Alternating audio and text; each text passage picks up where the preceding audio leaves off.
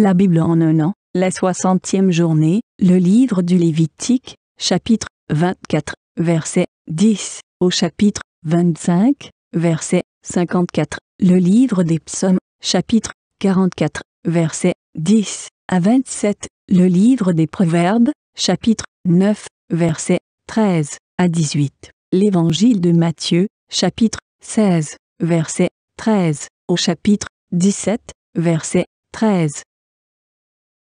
Le livre du Lévitique, chapitre 24. Le fils d'une femme israélite et d'un homme égyptien sortit au milieu des Israélites et se disputa dans le camp avec un Israélite. Le fils de la femme israélite blasphéma et maudit le nom de Dieu. On l'amena à Moïse. Sa mère s'appelait Shalomite. Elle était la fille de Dibri de la tribu de Dan. On le mit sous bonne garde jusqu'à ce que Moïse ait déclaré ce que l'Éternel ordonnerait. L'Éternel dit à Moïse, Fais sortir le blasphémateur du camp. Tous ceux qui l'ont entendu poseront leurs mains sur sa tête et toute l'assemblée le lapidera.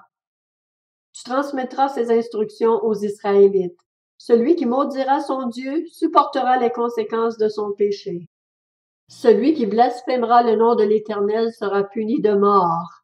Toute l'assemblée le lapidera. Qu'il soit étranger ou israélite, il mourra pour avoir blasphémé le nom de Dieu. Celui qui frappera un homme mortellement sera puni de mort. Celui qui frappera un animal mortellement le remplacera.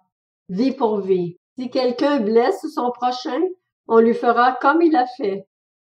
Fracture pour fracture, œil pour œil, dent pour dent, on lui infligera la même blessure que celle qu'il a infligée à son prochain. Celui qui tuera un animal le remplacera, mais celui qui tuera un homme sera puni de mort. Vous aurez la même règle pour l'étranger que pour l'Israélite, car je suis l'Éternel votre Dieu. Moïse parla aux Israélites. Ils firent sortir le blasphémateur du camp et le lapidèrent. Les Israélites se conformèrent à l'ordre que l'Éternel avait donné à Moïse. Le livre du Lévitique chapitre 25. L'Éternel dit à Moïse sur le mont Sinaï. Transmets ces instructions aux Israélites. Quand vous serez entrés dans le pays que je vous donne, la terre se reposera, et il y aura un sabbat en l'honneur de l'Éternel. Pendant six ans tu ensemenceras ton champ, pendant six ans tu tailleras ta vigne et tu en récolteras le produit. Mais la septième année sera un sabbat, un temps de repos pour la terre, un sabbat en l'honneur de l'Éternel. Tu n'ensemenceras pas ton champ et tu ne tailleras pas ta vigne. Tu ne moissonneras pas ce qui proviendra des grains tombés de ta moisson et tu ne vendangeras pas les raisins de ta vigne non taillée. Ce sera une année de repos pour la terre. Ce que la terre produira pendant son sabbat vous servira de nourriture à toi, à ton esclave et à ta servante, à ton salarié étranger et à l'immigré qui habite avec toi, à ton bétail et aux animaux qui sont dans ton pays. Tout ce qu'elle produit servira de nourriture. Tu compteras sept années sabbatiques, sept fois sept ans, c'est-à-dire quarante-neuf ans. Le dixième jour du septième mois, tu feras retentir les sons éclatants de la trompette. Le jour des expiations, vous sonnerez de la trompette dans tout votre pays. Vous ferez de cette cinquantième année une année sainte, vous proclamerez la liberté dans le pays pour tous ses habitants. Ce sera pour vous le jubilé. Chacun de vous retournera dans sa propriété et dans son clan. La cinquantième année sera pour vous le jubilé. Vous ne sèmerez pas, vous ne moissonnerez pas ce que les champs produiront d'eux-mêmes, et vous ne vendangerez pas la vigne non taillée, car c'est le jubilé. Vous le considérerez comme saint. Vous mangerez le produit de vos champs. Dans cette année de jubilé, chacun de vous retournera dans sa propriété. Si vous vendez ou achetez un terrain à votre prochain, qu'aucun de vous ne lèse son frère. Tu l'achèteras à ton prochain en comptant les années depuis le jubilé, et il te le vendra en comptant les années de récolte. Plus il y aura d'années de récolte, plus haut tu fixeras le prix, et moins il y aura d'années, plus bas tu le fixeras, car c'est le nombre des récoltes qu'il te vend.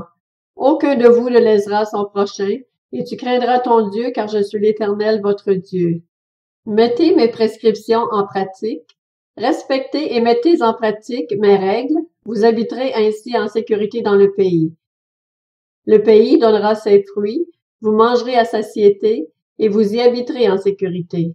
Peut-être vous dites-vous, que mangerons-nous la septième année, puisque nous ne sèmerons pas et ne ferons pas nos récoltes? Je vous accorderai ma bénédiction la sixième année, et elle donnera des produits pour trois ans. La huitième année, vous sèmerez et vous mangerez de l'ancienne récolte, jusqu'à la neuvième année, jusqu'à la nouvelle récolte, vous mangerez de l'ancienne.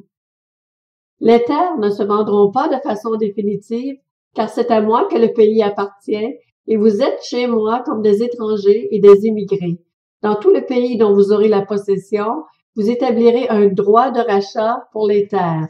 Si ton frère devient pauvre et vend une portion de sa propriété, celui qui a le droit de rachat, son plus proche parent, viendra et rachètera ce qu'a vendu son frère. Si quelqu'un n'a personne qui ait le droit de rachat et qu'il se procure lui-même de quoi faire son rachat, il comptera les années depuis la vente, remboursera la différence à l'acheteur et retournera dans sa propriété. S'il ne trouve pas de quoi lui faire ce remboursement, ce qu'il a vendu restera entre les mains de l'acheteur jusqu'à l'année du jubilé. Lors du jubilé, il retournera dans sa propriété et l'acheteur en sortira. Si quelqu'un vend une maison d'habitation dans une ville pourvue de murs d'enceinte, il aura le droit de rachat durant une année entière à partir de la vente. Son droit de rachat durera un an. Mais si cette maison, située dans une ville pourvue de murs d'enceinte, n'est pas rachetée avant la fin de l'année, elle restera définitivement à l'acheteur et à ses descendants. Il n'en sortira pas lors du jubilé. Les maisons des villages dépourvues de murs d'enceinte seront considérées comme des fonds de terre. Elles pourront être rachetées et l'acheteur en sortira lors du jubilé. Quant aux villes des Lévites et aux maisons qu'ils y posséderont, les Lévites auront un droit perpétuel de rachat. Si quelqu'un achète une maison à des Lévites, il sortira de la maison vendue et de la ville où il la possédait lors du jubilé, car les maisons des villes de Lévites sont leur propriété au milieu des Israélites.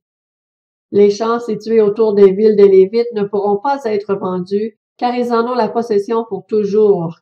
Si ton frère devient pauvre et qu'il manque de ressources près de toi, tu le soutiendras, même s'il s'agit d'un étranger ou d'un immigré, afin qu'il vive avec toi. Tu ne tireras de lui ni intérêt ni profit, tu craindras ton Dieu et ton frère vivra avec toi. Tu ne lui prêteras pas ton argent à intérêt, tu ne lui prêteras pas ta nourriture pour en tirer un profit. Je suis l'Éternel ton Dieu qui vous ai fait sortir d'Égypte pour vous donner le pays de Canaan pour être votre Dieu. Si ton frère devient pauvre près de toi et se vend à toi, tu ne lui imposeras pas le travail d'un esclave. Il sera chez toi comme un salarié, comme un immigré. Il sera à ton service jusqu'à l'année du jubilé. Il sortira alors de chez toi avec ses enfants, et il retournera dans son clan, dans la propriété de ses ancêtres. En effet, ils sont mes serviteurs, ceux que j'ai fait sortir d'Égypte. On ne les vendra pas comme on vend des esclaves. Tu ne domineras pas sur lui avec dureté, et tu craindras ton Dieu. C'est parmi les nations qui vous entourent que tu prendras le serviteur et la servante qui t'appartiendront. C'est d'elles que vous achèterez le serviteur et la servante. Vous pourrez aussi en acheter parmi les enfants des immigrés en séjour chez toi, ainsi que parmi les familles auxquelles ils donneront naissance dans votre pays. Et ils seront votre propriété. Vous les laisserez en héritage à vos enfants après vous comme une propriété, vous les garderez comme esclaves pour toujours. Mais en ce qui concerne vos frères, les Israélites, aucun de vous ne dominera avec dureté sur son frère. Si un étranger ou un immigré devient riche et que son frère devienne pauvre près de lui et se vende à l'étranger immigré chez toi ou à quelqu'un de la famille de l'étranger, il y aura pour lui le droit de rachat après qu'il se sera vendu. Un de ses frères pourra le racheter. Son oncle, le fils de son oncle ou l'un de ses proches parents pourra le racheter. Ou bien, s'il en a les moyens, il se rachètera lui-même. Il comptera avec celui qui l'a acheté le nombre d'années depuis celle où il s'est vendu jusqu'à l'année du jubilé. Le prix à payer dépendra du nombre d'années évaluées comme celle d'un salarié. S'il reste beaucoup d'années, il paiera pour son rachat une part proportionnelle du prix auquel il a été acheté. S'il reste peu d'années jusqu'à celle du jubilé, il en fera le compte et il paiera pour son rachat une part proportionnelle. Il sera comme un homme salarié à l'année chez son maître, et tu ne permettras pas à celui-ci de le traiter avec dureté. S'il n'est racheté d'aucune de ses manières, il sortira l'année du jubilé, lui et ses enfants avec lui. Le livre des psaumes, chapitre 44. Cependant tu nous as repoussés, tu nous as couverts de honte, tu ne sors plus avec nos armées. Tu nous fais reculer devant l'ennemi, et ceux qui nous détestent se partagent nos dépouilles. Tu nous livres comme des brebis de boucherie, tu nous disperses parmi les nations. Tu vends ton peuple pour rien, tu ne l'estimes pas à une grande valeur. Tu nous exposes aux insultes de nos voisins, à la moquerie et aux railleries de ceux qui nous entourent. Tu fais de nous le sujet d'un proverbe parmi les nations, on hoche la tête sur nous parmi les peuples. Mon humiliation est toujours devant moi, et la honte couvre mon visage, à la voix de celui qui m'insulte et me déshonore, à la vue de l'ennemi avide de vengeance. Tout cela nous arrive alors que nous ne t'avons pas oublié et que nous n'avons pas violé ton alliance. Nous n'avons pas fait marche arrière dans notre cœur, nous ne nous sommes pas écartés de ton sentier. Pourtant, tu nous as écrasés dans le territoire des chacals, et tu nous as couverts de l'ombre de la mort. Si nous avions oublié le nom de notre Dieu, étendu nos mains vers un Dieu étranger, Dieu ne le saurait-il pas, lui qui connaît les secrets du cœur? Mais c'est à cause de toi qu'on nous met à mort à longueur de journée, qu'on nous considère comme des brebis destinées à la boucherie. Lève-toi. Pourquoi dors-tu, Seigneur? Réveille-toi. Ne nous repousse pas pour toujours. Pourquoi te caches-tu? Pourquoi oublies-tu notre misère et notre oppression quand nous sommes affalés dans la poussière, quand nous rampons par terre? Lève-toi pour nous secourir. Délivre-nous à cause de ta bonté. Le livre des Proverbes, chapitre 9. La folie est une femme bruyante, naïve, qui ne sait rien. Elle s'assit à l'entrée de sa maison, sur un siège, dans les hauteurs de la ville, pour interpeller les passants qui vont droit leur chemin. Qui manque d'expérience, qu'il entre ici? Elle dit à celui qui est dépourvu de bon sens. L'eau volée est douce et le pain mangé en cachette est agréable. Et il ne sait pas que là se trouve le défunt, que ceux qu'elle a invités sont dans les vallées du séjour des morts. Évangile selon Matthieu chapitre 16 Jésus arriva dans le territoire de Césarée de Philippe. Il demanda à ses disciples, Qui suis-je d'après les hommes, moi le Fils de l'homme? Ils répondirent, Les uns disent que tu es Jean-Baptiste, les autres Élie, les autres Jérémie ou l'un des prophètes. Et d'après vous, qui suis-je? leur dit-il. Simon-Pierre répondit, Tu es le Messie, le Fils de Dieu vivant. Jésus reprit la parole et lui dit, tu es heureux, Simon, fils de Jonas, car ce n'est pas une pensée humaine qui t'a révélé cela, mais c'est mon Père céleste. Et moi, je te dis que tu es Pierre, et que sur ce rocher, je construirai mon Église, et les portes du séjour des morts ne l'emporteront pas sur elle. Je te donnerai les clés du royaume des cieux. Ce que tu liras sur la terre aura été lié au ciel, et ce que tu délieras sur la terre aura été délié au ciel. Alors il ordonna aux disciples de ne dire à personne qu'il était le Messie. Dès ce moment, Jésus commença à montrer à ses disciples qu'il devait aller à Jérusalem, beaucoup souffrir de la part des anciens, des chefs des prêtres et des spécialistes de la loi, être mis à mort et ressusciter le troisième jour. Alors Pierre le prit à part et se mit à le reprendre en disant Que Dieu t'en garde, Seigneur, cela ne t'arrivera pas. Mais Jésus se retourna et dit à Pierre Arrière, Satan, tu es un piège pour moi, car tes pensées ne sont pas les pensées de Dieu, mais celles des hommes. Alors Jésus dit à ses disciples Si quelqu'un veut être mon disciple, qu'il renonce à lui-même, qu'il se charge de sa croix et qu'il me suive. En effet, celui qui voudra sauver sa vie la perdra, mais celui qui la perdra à cause de moi la retrouvera. Que servira-t-il à un homme de gagner le monde entier s'il perd son âme? Ou que pourra donner un homme en échange de son âme? En effet, le Fils de l'homme va venir dans la gloire de son Père avec ses anges, et alors il traitera chacun conformément à sa manière d'agir. Je vous le dis en vérité, quelques-uns de ceux qui sont ici ne mourront pas avant d'avoir vu le Fils de l'homme venir dans son règne.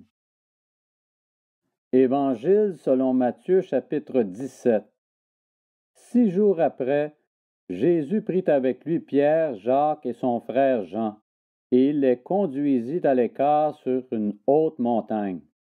Il fut transfiguré devant eux. Son visage resplendit comme le soleil, et ses vêtements devinrent blancs comme la lumière. Et voici que Moïse et Élie leur apparurent.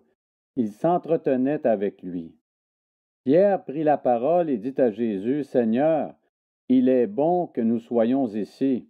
Si tu le veux, faisons ici trois abris, un pour toi, un pour Moïse et un pour Élie. Comme il parlait encore, une nuée lumineuse les couvrit. De la nuée, une voix fit entendre ces paroles. Celui-ci est mon Fils bien-aimé, qui a toute mon approbation, écoutez-le. Lorsqu'ils entendirent cette voix, les disciples tombèrent le visage contre terre et furent saisis d'une grande frayeur. Mais Jésus s'approcha d'eux, les toucha et dit, Levez-vous, n'ayez pas peur. Ils levèrent les yeux et ne virent plus que Jésus seul. Comme ils descendaient de la montagne, Jésus leur donna cet ordre. Ne parlez à personne de ce que vous avez vu jusqu'à ce que le Fils de l'homme soit ressuscité. Les disciples lui posèrent cette question. Pourquoi donc les spécialistes de la loi disent-ils qu'Élie doit venir d'abord? Jésus leur répondit, Il est vrai qu'Élie doit venir d'abord et rétablir toutes choses. Mais je vous le dis, Élie est déjà venu. Ils ne l'ont pas reconnu et ils l'ont traité comme ils ont voulu. De même, le Fils de l'homme souffrira de leur part. Les disciples comprirent alors qu'il leur parlait de Jean-Baptiste.